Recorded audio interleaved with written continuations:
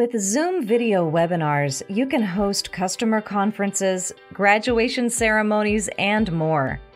In this video, we'll go over the features of Zoom video webinars.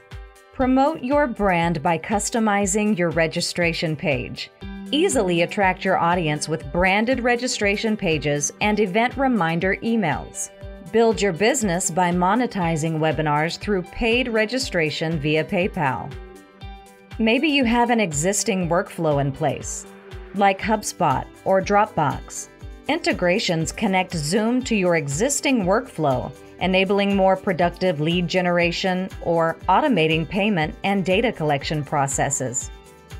Zoom APIs allow developers to request information from Zoom, including but not limited to user details, meeting reports, dashboard data, as well as perform actions on the Zoom platform on a user's behalf. Prior to the webinar, host and panelists can go into a practice session to prepare for the webinar. Get in early and get familiar with host controls and do a practice run before attendees join the webinar. As a webinar host, you'll have specific controls only available to you.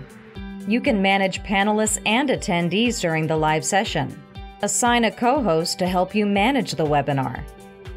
You can also invite up to 1,000 panelists, including the host, who can share audio, video, and screen.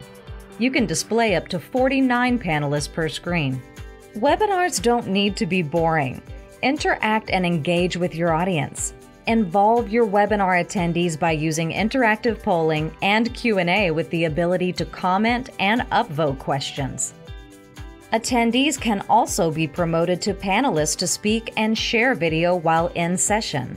Broadcast to an even larger audience by live streaming your webinar to Facebook Live, YouTube, or other custom streaming services. Then make the webinars on demand so attendees can view them later and watch whenever they want to.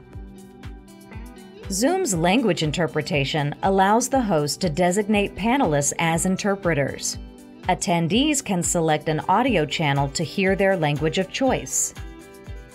Attendees will hear the translated audio and can choose if they want to hear the original audio at a lower volume. Within webinars, there are security controls to help you manage and control who attends the webinar. You can require domain specific authentication, manually approve registrants, require a passcode, and even block a registrant. Lastly, gain insight into the effectiveness of your webinar. Get reports on attendance, analyze Q&A and polls, send a follow-up email, and gather feedback with an automatic post-webinar survey. There are so many webinar features.